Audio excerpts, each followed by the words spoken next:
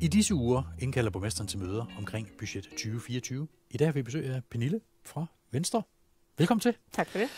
Pernille, øhm, budget 2024 øh, bliver jo sandsynligvis på grund af besparelser, i, eller man skal finde nogle penge i hvert fald, øh, bliver, bliver noget sværere at få nogle ting igennem i. Men lad os lige, øh, inden vi snakker 24, lige gå tilbage til 23. I var med i budgetforliget for 2023, er det ikke rigtigt? Jo, det er rigtigt. Hvad havde I med til budget på det tidspunkt i 22, da det skulle planlægges? Jamen, øh, vi, vi gik jo sådan set fra det forrige budget, altså budget øh, 22, fordi at vi ikke, øh, vi ikke kunne se os selv i øh, fremme af inklusionen i folkeskolen. Øh, det gik vi sådan set også på valg øh, på, at vi vil gerne have inklusionen øh, ned. Vi synes, det er synd for både de børn, der bliver inkluderet, øh, for lærerne, for forældrene og særligt også de andre børn i klassen, at vi har sådan en høj inklusion. Så vi gik for budget 22, netop på grund af, af inklusionen. Og så inden vi lige går videre, der, definer lige inklusionen. Hvad, hvad ligger det i det ord? Hvad betyder det, hvis man ikke ved, hvad inklusion er? Det er, er børn, der har øh, nogle særlige behov, som vi jo øh, inkluderer i, øh, i normalklasserne, i stedet for at give dem en specialskoleplads. Øh, det er heller ikke set, at alle skal have en specialskoleplads, men har i hvert fald et andet behov. Øh, og man er nu inde i selve klassen, og det vil vi gerne lave nogle tilbud øh, hvor du er øh, i, i et mellemform. Øh, du er ikke inde på en specialskole, du er heller ikke inde i klassen, du er sådan set inde i noget, der, der passer mere til dine behov. Okay. Øh, og det, det gik vi til budgettet med, at vi vil have nogle mellemformer. Øh, blandt andet med kognitive udfordringer, men også til børn, der har angst øh, og spiseforstyrrelser, øh, og sådan har nogle problemer i, i den her scene. Øh, og det fik vi igennem i budget, øh, sidste budget, budget 23. Øh, vi fik også en psykolog med, altså en psykolog, der skulle tage sig af børnene helt i starten. Man oplever, at de begynder at have nogle udfordringer, blandt andet med angst, men også måske med spiseforstyrrelser, skoleværing. Øh, at man kunne tage nogle samtaler med familien, øh, den her psykolog, i forhold til at hjælpe øh, på ret køl igen. Øh, så man tager problemet helt i starten og begynder at forebygge, frem for at vi først tager os af det, når det er sådan, at det bliver så slemt, at, øh, at det er uoverskueligt. Det var jo 23. Ja. Øh, og I fik mig der igennem. Hvordan er det så øh, og, øh, budgetår? Hvornår gik det op for jer, at der måske i virkeligheden godt kunne være nogle uler i mosen, nogle, nogle udgifter, som stak af på en eller anden omfang. Hvad, hvordan, hvad oplevede I i januar februar måned i 23? Ja, og, og det er jo det, altså faktisk ret kort tid efter budgettet øh, var, var, øh, altså var vedtaget, og vi kom i gang med, med det nye år, fandt vi ud af, at det skred øh, ret voldsomt på familie- og børnesundhed. Nu snakker vi sådan set lige kun børn, for vi havde jo også andre ting med i budget 23 i forhold til, til events og, og sportsbegivenheder i Fredericia, fordi vi gerne vil også have, at der skal ske noget inde i byen. Men hvis vi bare lige snakker børn og unge, øh, så begyndte vi jo i hvert fald der helt i starten af året øh, at se, at det skred på familie- og børnesundhed. Der er sådan set øh, flere børn, der har brug for hjælp, Øh, og, og dem, der har brug for hjælp, har brug for, for mere hjælp, end, end de plejer at skulle have. Altså, vi, det er en helt klar tendens, som vi også ser på landsplan. Det er jo ikke kun i Fredericia men, men det er jo også på landsplan. Øh, og der skrider budgetterne øh, ret, ret voldsomt, øh, og det har de gjort af flere omgange. Øh, nu er man helt nede og kigge på personnummer i forhold til, hvad har det enkelt barn brug for. Så nu tror vi egentlig, at vi er nået i bund med det, men, men der var slet ikke sat penge nok af i budget 23 på trods af, at vi jo rent faktisk genoprettede økonomien øh, med omkring 9 millioner lige præcis på det område, og gjorde det jo også på rigtig mange områder, andre områder, fordi vi gerne vil have, at der skulle være nogle retvisende budgetter. Det var egentlig det, der var, altså, det var det vigtigste i budget 23, det var at få retvisende budgetter. Og det lykkedes også på alle andre områder, bare ikke lige på familie og børn. Ja, det må absolut ikke været sjovt at starte 23, og så går der et par måneder, og så ved man bare, det, der skulle være stabilt, det bare skrider, og vi har ingen overblik, fordi det bliver bare dyrt, det her.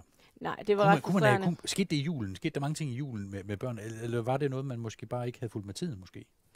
Øh, man manglede ligesom et overblik, tror jeg, og, og også øh, no, nogle data, øh, og, og, og det fik man i løbet af, altså fra vi havde indgået budgettet, og så til til starten af året. Og der kunne vi bare se, at, at behovet øh, var slet ikke det, vi havde afsat øh, i, i budgetterne. Og det var virkelig frustrerende at opdage det så tidligt på året, men det gjorde jo også, at vi kunne sætte en masse ting i gang og, og, og få budgetterne rettet ind. Og nu har vi i hvert fald overblik over, hvor meget er det, at vores, øh, at vores budget mangler. Øh, og, og det er jo vigtigt at få den del genoprettet, og det bliver også en af de der hovedtemaer øh, i det her, øh, den her budgetlægning. Ja, for det er mange millioner, men hvor mange er det helt konkret, I skal finde i sådan en? Øh, ja, i Sparkalød har vi bestilt på, på nogle 90 millioner øh, på familie børnesundhed. Der, der, ser det, der ser det ret slemt ud. Altså, det er nogle 50 millioner, det skrider der i forhold til det budget, der var lagt. Så, så det, er, det er en ret stor øh, omkostning på, øh, på børn og unge. Og man skal jo sige, det er jo vigtigt at hjælpe de unge, der har udfordringerne. Øh, og dem skal vi jo selvfølgelig gøre noget for. Det der kan heller ikke være nogen diskussion om. Dem skal vi hjælpe, så må vi finde pengene på en anden måde. Øh, det er de allermest sårbare, vi taler om her. Præcis. Men 50 millioner er immer væk mange penge. Det er det. Er, er der nogle steder, man kan skrue? Ja, nu har vi bestilt det her sparekatalog, øh, og, og det er jo på nogle 90 millioner. Og så må vi se, for vi har også andre udfordringer. Det er jo ikke kun familie og børn. Øh, der er også kommet nogle andre ting til undervejs. Man kan sige, at vi er jo ikke særlig godt hjælpet af den aftale, øh, der de har indgået med regeringen, KL og regeringen har indgået. Der håbede vi jo lidt, der kom nogle penge til det her specialiserede område, øh, og, og det så ikke lige sådan ud. Så, øh, så, så der er jo også nogle udfordringer under, undervejs, der gør, at, at vi har bestilt et, øh, et katalog, der ser, øh, der ser sådan ud, som det gør. Altså i størrelsesorden 190 millioner. Det bliver spændende at se. Men øh, vi skal jo snakke budget 24. Øhm, der er jo snart møde med borgmesteren. I skal ind og snakke omkring, hvad I har ønsker, og hvad der rent faktisk kan lade sig gøre. Hvad er din forventning til i år? Fordi der skal jo, der skal jo spares nogle penge. Er, er det muligt overhovedet som parti at, at få indflydelse på budgettet 2024? Ja, ja, klart. Altså, nu skal vi jo gennemgå kataloget, øh, som vi ikke har set endnu. Jeg ved ikke, hvad det indeholder. Øh, jeg kan frygte lidt, hvad det indeholder. Øh, og, og det er jo aldrig sjovt at spare. Nu har jeg været igennem en hel del sparerunder i den tid, jeg har siddet i byrådet, øh, og det er aldrig øh, en opgave, jeg, jeg synes var... Øh, øh, var særlig sjovt. Det er jo ikke derfor, jeg har jeg er blevet meldt ind i politik. Det er sådan set for at, at forbedre nogle ting. Øh, så det at skulle sidde og gennemgå et katalog, man skal spare, og kan se, hvad det betyder, derude, det er faktisk ret hårdt, og det er nok også hårdere, end det folk tror, det er. Øh, fordi det er, jo ikke, det er jo virkelig ikke den vej, vi ønsker. Vi vil gerne udvikle øh, vores, øh, vores velfærd øh, og vores by. Øh, og der vil jeg jo sige, der betyder visionen jo også, som vi jo lige har indgået, øh, eller i hvert fald lavet en aftale med hinanden om, at det er sådan, den ser ud. Øh, der er nogle, nogle nøgleområder der, som vi i hvert fald også kigger på, når vi kigger ned igennem sparekataloget. Det er også en smule tonet i forhold til, øh, hvad det er for nogle øh, satsninger, vi har lavet i visionen øh, Øh, børneområdet øh, er, er jo en af dem, som, som, som vi har i hvert fald øh, prioriteret meget i Venstre. Det stod også i vores valgprogram, det stod også i vores kontrakt med Fredericia, at vi gerne ville øh, udvikle børneområdet, øh, og det er noget af det, vi kigger på, og så betyder det selvfølgelig også noget for os, at vi, øh, at vi holder et ordentligt serviceniveau i forhold til, til velfærden for de ældre. Øh, men, men børneområdet vil vi i hvert fald særligt, øh, særligt kigge på, fordi det også er en del af visionen. Men hvordan kan man blive ved med at bevare, bevare øh, det positive overblik, øh, muligheden for, for at udvikle noget, hvis der ligger sådan en stor sten, der hedder, det her bliver dyrt, alt, alt skal skæres ned på, i et eller andet omfang. Hvordan kan man beholde øh, den positive ånd og, og tænke, det, vi skal stadigvæk fremad? Altså, er, er det muligt egentlig at udvikle, når man skal spare rigtig mange penge? Jamen, jeg synes ikke, vi skal, vi skal, ikke, vi skal ikke spare hele tiden, og det er derfor, vi er også ligesom nødt til at sørge for at lave nogle tiltag, der gør, at vi forebygger. Øh, og det har vi noget med til budgettet omkring, hvordan vi synes, vi skal forebygge. Der er rigtig mange unge og børn, der nu er i dårlig mental trivsel. Øh, det er jo ikke alle, det skal vi lige huske at sige. Det er jo langt fra alle. Men der er i hvert fald en større gruppe, end, end det, der plejer at være. Og det er klart, det, det er jo dyrt, når man skal lave foranstaltninger, der, der skal hjælpe nogen i mennesker i en retning. Det koster bare penge. Jamen, og der er vi jo nødt til at sikre, at vi kommer ind, før vi gør lige nu, øh, så vi opfanger den, der, den dårlige mentale trivsel, øh, inden at det bliver rigtig, rigtig slemt.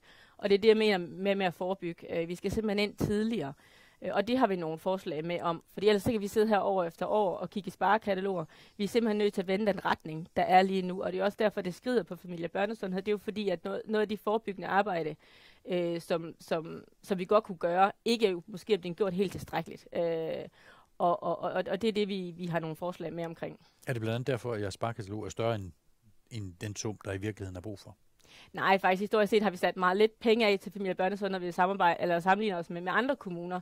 Så budgettet i forvejen i Fredericia er faktisk ret lille. Øhm, øhm, og det er det, vi går ind og genopretter nu. Og så er der jo bare flere børn, der har, øh, der har brug for, for hjælp, end der har været tidligere. Øh, og dem skal vi hjælpe. Hvad, hvad er det samfundet, der skrider, eller er det de der smartphones, eller øh, hvorfor er det? Sker det bare i perioder, at, at øh, samfundet, det, og så skal man samle op igen, eller hvad er det, der sker? Det er der mange teorier om. Øh, der er også nogen, der siger, at det bliver en værre efter corona, øh, og, og, og det kan vi nok også se en tendens til, og det er jo ikke kun i Fredericia, det er jo i alle kommuner. Øh, den, den periode, hvor man har været isoleret i de der to år, har gjort noget ved den unge årgang, der er lige nu. Øh, så jeg tror faktisk, det er en blanding af, af, af rigtig mange ting. Øh, der er også meget krav til de unge mennesker i dag. Øh, der er mere skærmtid. Vi kan også se de der undersøgelser, vi laver omkring, øh, hvordan har du det? Undersøgelserne, at øh, de unge sover ikke så meget, som, som de måske burde. Uh, så der er sådan en helt tendens til, at, at man bruger måske lidt mere tid foran computeren og, og på sin telefon, og man sover ikke så meget, og man laver ikke så meget motion, som man har gjort. I hvert fald ikke organiseret motion i, i forhold til at melde sig ind i nogle fritidsklubber og noget. Man gør det meget for sig selv. Der er noget der i forhold til, til unge, og så tror jeg oven i coronaen, øh, så, har, så har det bare en sammenblanding måske ikke været sådan super godt øh, for, for ens unge liv. Og det er jo noget af det, vi, vi prøver at tage fat på nu, for vi kan se de der tendenser. Men du mener, det er et generelt sund, øh, samfundsmæssigt problem? Øh, I virkeligheden? Det, altså, jeg tror, det, det er en blanding af det hele. Fredse, det er Nej, hele det er, det, er ikke, det er kun lokale Fredericia. Det er ja. jo noget, vi kan se over hele landet. Ja. Ja. Burde regeringen så ikke øh, trækkes med ind i, i løsningen der? Jamen, de diskuterer jo også børn og unges øh, mentale trivsel. Jeg tror, det er noget, vi er optaget af øh, over hele landet. Øh, det kan jeg også se, når jeg kommer rundt øh, i de andre politiske for, jeg, jeg er færdig i, at, øh, at det er noget, alle er optaget af, fordi det er et problem. Men det, er jo, det koster jo rigtig mange penge. Er det en kommunal opgave kun? Jamen, vi havde håbet på at få nogle penge i, i, i aftalen mellem KL og regeringen, øh, der ligesom var øremærket til det specialiserede område, fordi at det netop skrider for, for alle. Ja, men, øh, men der var ikke rigtig nogen penge øh, med der til, til det, og det kan vi jo selvfølgelig ære os over. Og nu står vi så med opgaven ude i kommunerne jo. Hvordan griber man den? Altså, hvad, hvad kan I som politikere gøre i sådan en situation, hvor I kan se, at, at der, er sgu, der er behov for noget her? Hvad kan, Jamen, vi i Fredericia har vi jo lavet en ny ungeenhed. Øh, hvad er ungeenheden? Jamen, Unge enheder er faktisk en ny måde at organisere sig på inde i kommunen, øh, hvor man før har været siddet ude i nogle forskellige forvaltninger øh, og, og taget sig af de unge, har vi nu samlet det, det hele til én afdeling under én leder. Øh, og det gør, man er bedre til at arbejde på tværs, og det gør også, at du kan tage bedre hånd om den unge, øh, når man oplever en udfordring. Og, og, og det, har vi, det har vi investeret i og sagt, det er den vej, vi ønsker at gå i Fredericia. Der er også fritid med. Øh, det er lidt anderledes end den måde, nogle andre kommuner laver, øh, laver arbejde med unge på. Men vi tror, at der ligger rigtig meget og, øh, godt i fritid. Øh, og det er der, man snakker med de unge på, på en anden måde, end man gør i skole øh, og, øh, og, og i, i familien. Så, så, øh, så det, at fritid er med, øh, gør en ret stor forskel. For vi, det er jo en helhed, når man snakker unge. Ens liv er jo ikke kun i skoletiden, det er jo, det er jo sådan set hele dagen. Øh, så, så, øh, så vi vender os rigtig meget den nye ungeenhed, og jeg, jeg synes allerede nu, at der er nogle rigtig, rigtig gode, fornuftige resultater. Men unge, der, der har der, der er ondt i sjælen, de, de, de vil jo oftest isolere sig i et eller andet omfang, og så ikke uh, dukke op i fritidstilbud eller, eller sport, eller så er der egentlig kun skolen tilbage, hvis de ikke er syge. Øhm, er, skolen en stor del af det her så også? Jamen, de, de er jo selvfølgelig med ind, ind i det, og den nye unge enhed går jo... Det er der, de skal afsløres i virkeligheden så, eller findes, hvis de ikke er de andre steder. Ja, vi, men vi ved, hvem de unge er. Altså, ja. det er jo ikke sådan, at man, man ikke har fat i, i de, de unge. Altså, det har man jo igennem skolen, men, men jo også igennem gennem fritidsdelen. Øh, og hvis det ikke kommer i fritidsdelen, så har man i hvert fald fat i dem i skolen. Og så er de jo andre sammenhænge. Nogle gange kender vi også familien øh, for, for, for andre afdelinger i kommunen. Altså, så, så vi har sådan set fat i de unge, og der bliver jo lavet et rigtig, rigtig dygtigt pædagogisk arbejde med at få med ind i, øh, i, i fritidslivet, blandt andet også i, i ungdomsskolen, hvor man har rigtig mange forskellige tilbud, men også tilbud til, til særligt unge udsatte. Øhm, så vi er sikre på, at alle kommer med ind og er en del af et fællesskab. Det tror jeg, det tror jeg godt for alle. Hvad tænker du om det fredericianske ungdomsliv og, og tilbuddet af ungdomsklubber og juniorklubber? Er vi der, hvor vi gerne vil være, eller er der plads til forbedring der? Altså, vi mangler et, øh, et tilbud til sådan den unge målgruppe. Øh, dem, der ikke kommer på unge miljøerne i folkeskolerne, men er sådan lige der bagefter. Altså i udskolingen, slut i udskolingen, øh, og 9. klasse, og så op, altså der, hvor man begynder at gå ind i gymnasiet øh, og en anden ungdomsuddannelse. Øhm, og der mangler, der mangler et fritidstilbud til, til dem. Hvad kunne, hvad kunne et fritidstilbud være? Er det ligesom ungdomshus, eller skal man skabe noget helt nyt? Øh, nu kommer der en skaterhal, et uh, street forum. Er det så noget, man tænker, man kan, eller hvad? Eller skal man, det, det kræver jo også, at de har interesse for det, måske? Jamen altså, vi har sat ret mange penge af til ungdomsskolen, og de laver aktiviteter også til den her målgruppe. Øh, og, og, og der er mange forskellige aktiviteter. Man kan både komme på nogle ture, man kan melde sig til nogle værksteder. Man kan faktisk rigtig meget i ungdomsskolen. Det, det er et helt andet øh, sted nu, end, end, end det var for, for fem år siden, blandt andet. Altså, vi har været på en rigtig stor udvikling igennem øh, ungdomsskoler. Der er rigtig mange unge, der nu bruger det. Og der er mange forskellige aktiviteter der, det, det, og det skal vi udvikle meget mere på. Øh, så er der ungdomshus, som du selv nævner. Det prøver vi jo nu på at åbne op, så det bliver åbent for alle. Øh, det har været sådan lidt lukket tidligere. Vi har faktisk været igennem en, en proces, hvor, hvor vi åbner huset op, laver nogle flere aktiviteter dernede. Det er også der, de der sommeraktiviteter har været holdt.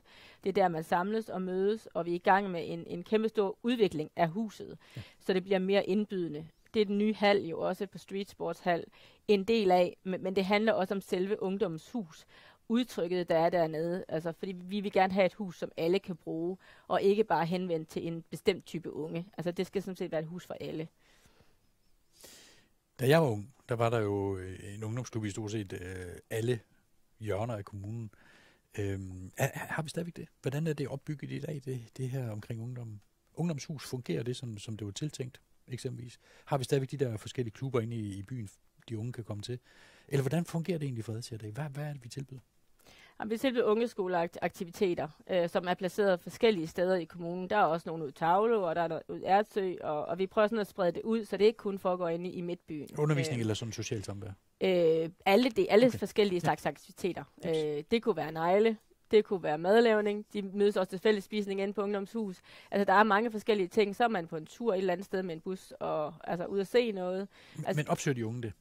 Øh, er, er, er, ja. Er, de går klar over, at det eksisterer og har lyst til det? Der er flere og flere brugere af, ja. af ungdomsskolen, end, okay. og det er også fordi, der bliver lavet så mange forskellige aktiviteter, præcis. man markedsfører ud på skolerne. Ja, lige præcis. Det er markedsføring, fordi de unge skal jo vide, at det er der. Ja, ja. det skal de. Også, også sociale medier, ja. og vi henvender selvfølgelig også på en eller anden måde til forældrene, fordi de skal jo også gøre deres unge opmærksom på, at det her tilbud, det, ja, det eksisterer. Og måske lige skubbe dem ud af døren, når det er, så de ikke springer over jer, fordi de har ikke lige lyst. Ja, det er det. Ja, og så, så er der jo så ungdomshus, som vi ja. prøver på at, at lave til et, et andet sted, end det har ry øh, for. Øhm, og det, det, er en, det er en proces, der kommer til at tage noget tid, men der har været rigtig god brug af de der sommeraktiviteter, øh, vi har lavet, som jo egentlig har deres udspring ned i ungdomshus, for det er der, man mødes.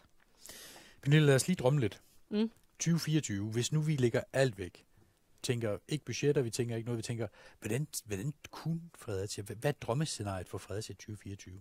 Fra venstre side? Altså, hvad, hvad kunne I tænke jer, der bare skulle fungere 100%? Ja, det er jo et svært spørgsmål, for ja. nu skal vi jo ind i en budgetlægning, hvor der kommer til at være et sparkatalog på, siger, på rigtig mange ting. Hvis det havde været optimalt, øhm, hvad, hvad havde, altså, så det kan hurtigt komme til at lyde urealistisk, men, men, men det er jo klart, at det vi er gået til valg på os, øh, og det der også står i vores vision, det er, at vi, vi gerne vil have en, øh, en, en by, øh, som er god for børnefamilierne. Øh, vi skal være børnefamiliernes første valg, øh, og, og det skal have en, en velfungerende hverdag, altså god daginstitutioner, gode skoler, godt fritidsklubmiljø, øh, Øhm, og en, en god by at være børnefamilie i. Øh, og det er også det, vi har, når vi har snakket bosætning, så er det jo også noget af det, som, som vi har, vi har ligesom prøvet at tiltrække øh, børnefamilier og markedsføre os på.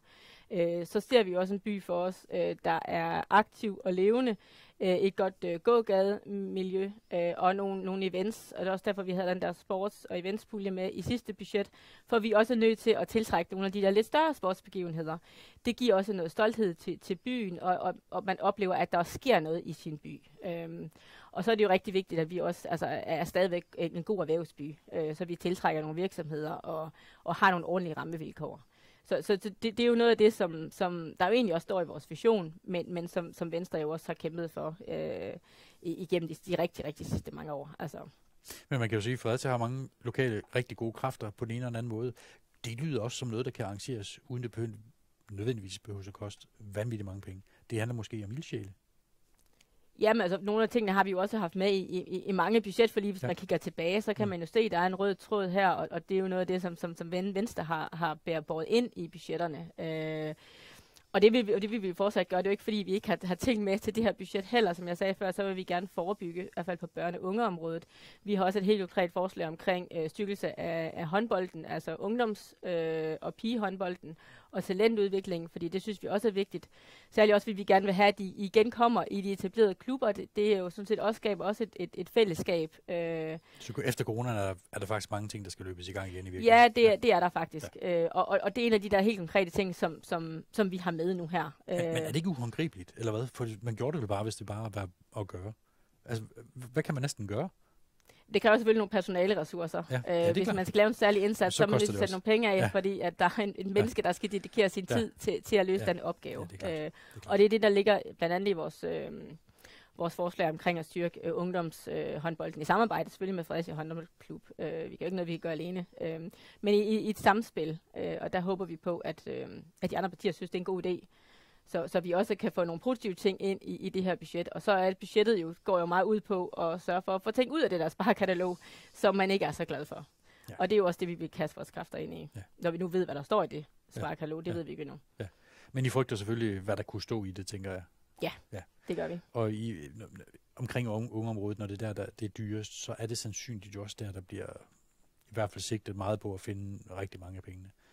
Vil vi i Fredericia som meniborger kunne mærke det her sparekatalog i teorien? Nu ved vi ikke, hvad der står i, men, men vil det være sådan, at, at, at alt bliver sparet ned, at kulturen forsvinder, at i værste situation er det så de, på de rigtig gode koncerter på Østerstrand, eksempelvis på Cirkelbroen, eller alle de der ting omkring 6. juli, kan vi risikere, at alt bliver virkelig skåret helt ned til de virkelig basale igen?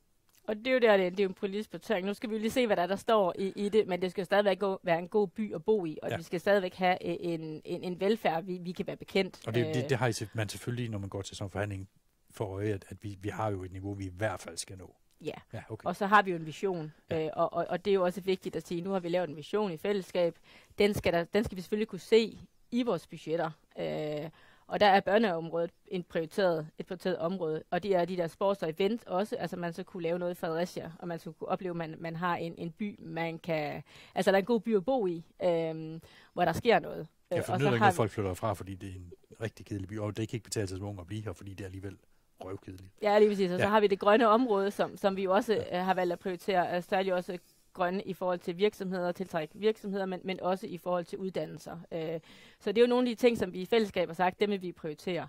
Øh, så må vi jo gå ind og kigge på, hvordan undgår vi øh, og, og berøre det mest muligt. Og det er i hvert fald det, vi, øh, det, vi vil gå til budgettet med. Øh, så kan man sige, hvis man, man ligger faktisk ikke særlig højt på, øh, på, på, på, på børnene. Hvis vi sammenligner med andre kommuner, udgifterne til det er faktisk mindre, øh, særligt på skoleområdet, hvis vi sammenligner med andre kommuner. Derimod ligger vi faktisk rigtig, rigtig højt på ældre øh, i forhold til andre kommuner. Øh, der bruger vi faktisk flere penge, end, end hvad de andre kommuner gør. Så, så det er i hvert fald et område, som vi også kommer til at kigge på. Ikke nødvendigvis, at service skal være dårligere, men kan man organisere det på en anden måde. Øh, det, det tror jeg er vigtigt at kigge på også. Altså, så vi kigger på, hvordan, hvordan kan vi gøre det? Det er sådan floskelagt at sige, hvordan kan vi gøre det smartere? Men det er i virkeligheden det, vi skal ind og kigge på. Kan vi for gøre, at undgå at ramme for mange mennesker. Ja, kan vi ja. gøre nogle ting lidt anderledes? Øh, og, og få mere ud af det, frem for bare igen at sidde og diskutere de der ting, som vi plejer at sidde og diskutere, rengøring og, og andre ting, som vi jo helst gerne vil undgå og, og, og spare på. Men, men kan man organisere nogle områder anderledes, når vi nu bruger så mange penge på de ældre? som vi jo ikke får tilbage i, i, i, øh, i oplevet service. Øh, så øh, så det, det skal i hvert fald have en, en, en god snak om. Når man går ind i politik, så nævnte du også selv før, at det går for at gøre en forskel, for at gøre nogle ting anderledes, for at gøre nogle ting bedre. Hvordan er det, er det ikke svært at beholde gnisten i en situation, hvor man, hvor man bare ved, det næste år, det bliver bare rigtig ikke sjovt? Altså, det kan godt blive sjovt, men, men, men husholdningsbudgettet, det, det, det byder bare ikke på, at der er råd til en ekstra is i virkeligheden for kommunen. Hvordan takler man det som politiker? Jo, det er jo klart sjovere at lave budgetter, når det er sådan, at øh, økonomien ser, ser, ser fornuftig ud, og at man, øh, og man har nogle penge, man ligesom kan også in, investere i, øh, initiativ i. Så, så det, det er klart, det er, jo, det er jo de sjove budgetter at lave. Det her, det er jo ikke et sjovt budget. Øh, det var det heller ikke sidste år. Der var, også, øh, der var det også et sparekatalog. Øh, men, men, men sådan er det også nogle gange, og det ansvar må vi også tage på os, og det er også det, vi er valgt til, og, og, og det gør vi selvfølgelig. Øh, men, men det er jo ikke, det er jo ikke den opgave, at, øh, at man synes, det er allersjovest. Altså, tværtimod. Og nu er du, hårdt. du har været politiker nogle år efterhånden, og siddet i byrådet også en del år. Har du oplevet før, at der skulle være sparekatalog? Altså, er det her noget nyt, eller er det simpelthen noget, man oplever som kommune er til, så kommer der sparekatalog, fordi der skal bare rettes til, ligesom i en ganske normal økonomi hjemme i en selv? Ja, jeg har været med til at have en hel lille sparekatalog ja. Øh, efterhånden så det er ikke nyt. tid. Så det, det er bestemt Nej. ikke nyt. Så skræmmer øh, det vel heller ikke i virkeligheden, så, som, som det måske bliver fremsat? Jo, fordi man kan jo sige, at nu har der været så mange sparkaloger, så har man ligesom taget de der lavt hængende frugter. Ja, uh, nu er vi inde også, ja. hvor, hvor det gør rigtig, rigtig ondt, og begynder at pille ved nogle ting, som vi måske også politisk tidligere har prioriteret, uh, og som er vigtige for os og så begynde at genbesøge det. Ikke fordi det er det, vi så ender med at blive enige om, at det, det er det, vi skærer på, men, men vi er i hvert fald nødt til at snakke om det. Øhm, og bare den del er jo heller ikke særlig sjov, når man har været med til at og synes, man selv indfører noget i budgetterne, man har været rigtig glad for, og man synes har gjort en forskel. Øh, så, så det bliver ikke nemmere, jo flere sparekataloger man får. Tværtimod, så bliver opgaven sværere. Det lyder ikke som øh, en rar tid, skal igennem i hvert fald. Men øh, vi må se, hvordan det ender. Vi ønsker i hvert fald alt det bedste til budgetforhandlingerne. Ja, tak for det.